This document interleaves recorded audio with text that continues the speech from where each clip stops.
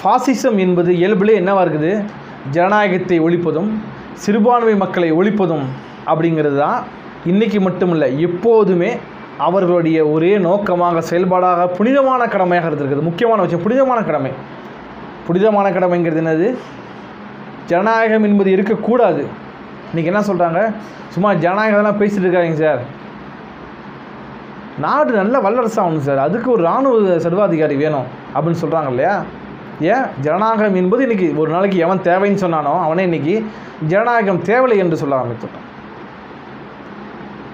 அப்போ ஜனநாயகத்தை ஒழிப்பதும் ஃபாசிஸ்டுகளின் புனிதமான கடமை என்பதால் தான் இன்றைக்கி என்ன செய்கிறான் தேர்தலில் நின்று ஓட்டு போட்டு ஜெயிக்கிற வைக்கிறாங்க ஒரு எம்பியை. அந்த எம்பியோட தொகுதி வளர்ச்சி மேம்பாட்டு நிதியை ரெண்டு வருஷம் கட் பண்ணுறான் யாரை கேட்டாது ஒரு ஜனநாயகபூர்வமாக அவர்களை கேட்டு அனுமதி கேட்கணும் கூட எந்த சிந்தனையுமே கிடையாது. அப்போ ஜனநாயகம் என்பதே ஃபாசிஸ்டுகளுக்கு எதிரானது என்பது மட்டுமல்ல இதை ஒழித்து கட்டுவது புனிதமான ஒரு கடமை.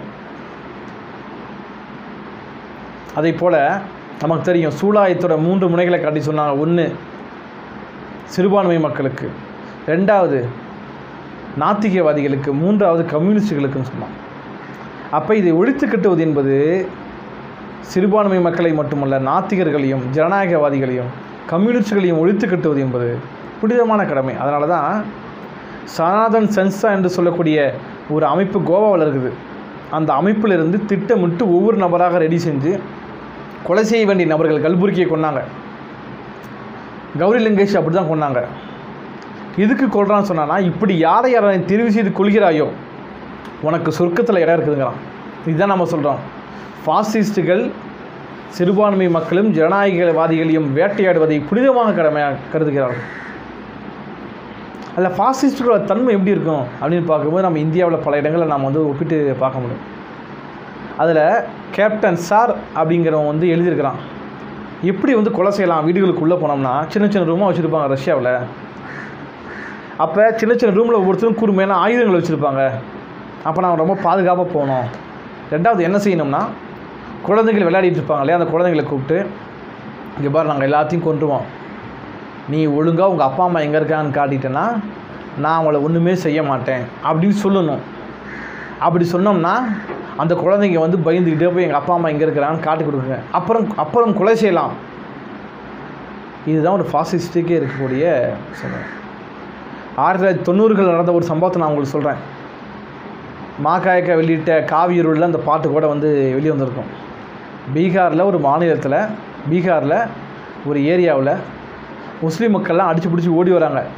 ஐயோ எங்களெல்லாம் வந்து கொள்கிறாங்க காப்பாற்றுங்கன்னு அவங்கள வந்து கோயிலில் சாப்பாடு போட்டு தங்க வச்சு அதிகாலையில் வந்து கொலை செய்ய வந்தவர்கள் கதவை திறந்து விட்டவர்கள் தான் இந்த ஃபாசிஸ்ட்டுகள்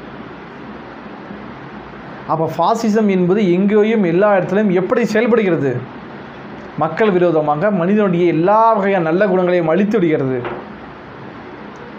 அப்போ இந்த சூழலில் நம்ம வெறுப்பையும் வஞ்சத்தையும் வச்சுக்கலாமா வேணாமா? நமக்கு சொல்கிறாங்க வஞ்சம்ங்கிறது தப்பு வெறுப்பை வச்சுக்கூடாதுங்கிறாங்க. இந்த ஆசிரியர் சொல்கிறாங்க வெறுப்பையும் வஞ்சத்தையும் வச்சுக்கணும். வெறுப்பை விதைத்து வஞ்சகத்தை வளர்க்காமல் ஃபாசிசத்தை ஒருபோதும் ஒழிக்க முடியாது. இந்த சாலைகளை உருவாக்கியவர்கள் மாட மாளிகைகளை உருவாக்கியவர்கள் மெட்ரோ ரயில் நிலையத்தை உருவாக்குனவன் டெல்லியவே அவன் தானே உருவாக்கினான். ரெண்டு கோடி மக்கள் இருபது லட்சம் பேர் நடவயணமாக போகிறாங்க ஆயிரம் கிலோமீட்டர் ஐநூறு கிலோமீட்டர் எட்நூறு கிலோமீட்டர் நடந்து போனானே. அவனை பட்டினியை நிற்க வச்சு சாப்பாட்டுக்கு வழி இல்லாமல் தற்கொலைக்கு தள்ளுறானே. இந்த அரசின் கொள்கைகள் மேலே நமக்கு வஞ்சமும் விரோதமும் வெறுப்பும் இருக்கணுமா? வேணாம். எத்தனை கிலோமீட்டர் தமிழகத்தை சேர்ந்த ஒருத்தன் மகாராஷ்டிராவிலேருந்து நடந்தே வந்து தெலுங்கானாவில் செத்து போயிட்டான் பையன். இதை பார்த்து நமக்கு வஞ்சகமும் வெறுப்பு வரக்கூடாதா? வஞ்சகமும் வெறுப்பும் நமக்கு எப்போதுமே தேவை. கார்ப்பரேட் கம்பெனிக்கு எட்டு கோடி எட்டு புள்ளி அறுபது லட்சம் கோடிகளை ஒதுக்கிட்டு இன்றைக்கி கொரோனாவில் பாதிக்கப்பட்ட மக்கள் இருக்கிறாங்க. அவங்களுக்கு ஒன்று புள்ளி ஏழு ஜீரோ லட்சம் கோடி ஒதுக்குறேன்னு ஒதுக்கிட்டு அதையும் கொடுக்காம இருக்கிறானே. அதுமாதிரி நமக்கு வஞ்சகமும் வெறுப்பும் வரக்கூடாதா? பதினஞ்சு நாள் இருபத்தொரு நாள் ஊரடங்கு உத்தரவு அறிவிச்சிட்டு மக்கள் வாழ்க்கைக்கு எந்த வேலையுமே செய்யாமல் ஆயிரம் ரூபாய் பணம் கொடுக்குறேன் நீ பார்த்துக்கோன்னு சொல்லி பாதி பேர் கொடுத்து பாதி பேர் கொடுக்காம அதிமுக கட்சிக்காரனை வச்சு கொடுத்துட்ருக்கானே. இதை பார்த்து நமக்கு வஞ்சமும் விருப்பம் வரக்கூடாதா? கறிக்கடை வச்சுருக்கிறார் ஒருத்தர். அங்கே மக்கள் முண்டியடிச்சாங்கிறதுக்காக கறிக்கடைக்காரரை கூட்டிட்டு போய் அடித்து கொண்டுட்டானே போலீஸ்காரன். அது மாதிரி நமக்கு வஞ்சமும் விருப்பம் வரக்கூடாதா? அப்போ தொற்றுநோய் பாதிப்புலேயே இந்தியாவில் இரண்டாவது இடத்தில் இருக்கக்கூடிய தமிழகத்துக்கு இந்த சூழல்லையும் கூட தமிழ் இனத்தின் மீதான வெறுப்புக்காக ஐநூற்றி பத்து கோடி ரூபாய் பிச்சை காசு மாதிரி தூக்கி போடுறானே. இதன் மேலே நமக்கு வஞ்சமும் வெறுப்பும் இருக்குமா இருக்கக்கூடாது. அப்போ இந்த சூழலில் நாம் எப்படி செயல்படணும்?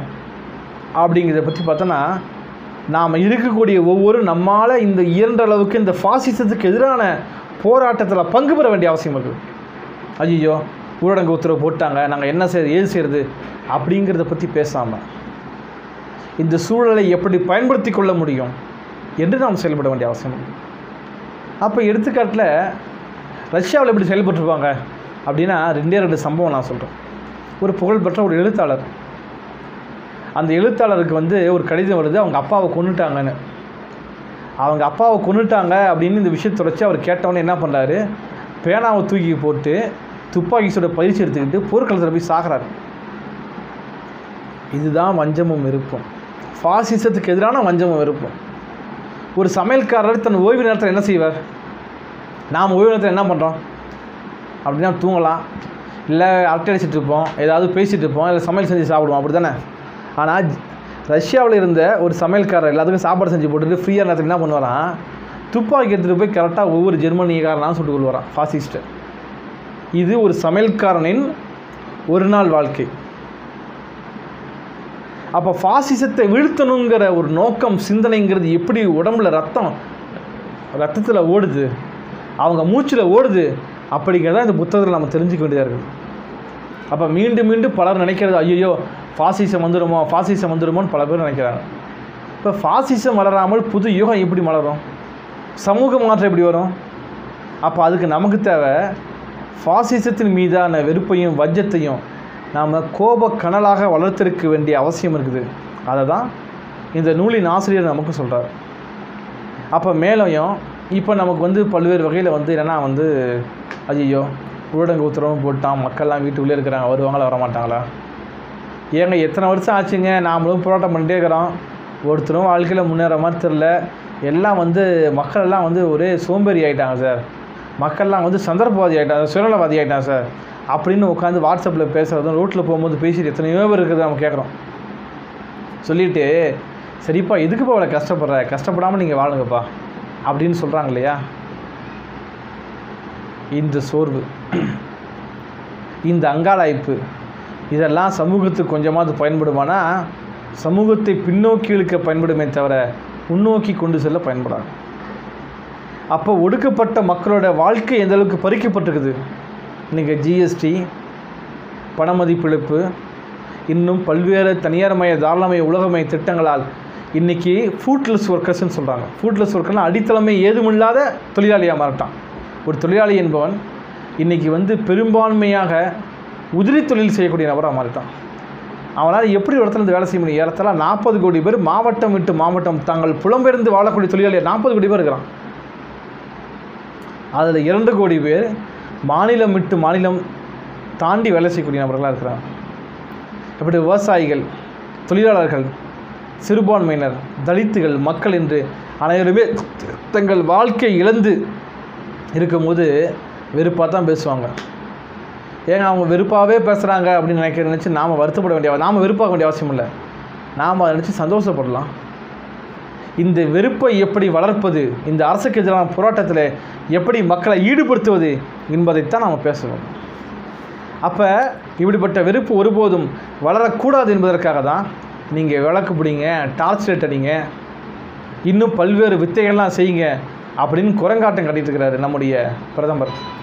அப்போ அதற்கு எதிராக நம்முடைய போராட்டத்தை நாம் மீண்டும் மீண்டும் கொண்டு செல்ல வேண்டிய ஒரு அவசியம் இருக்குது.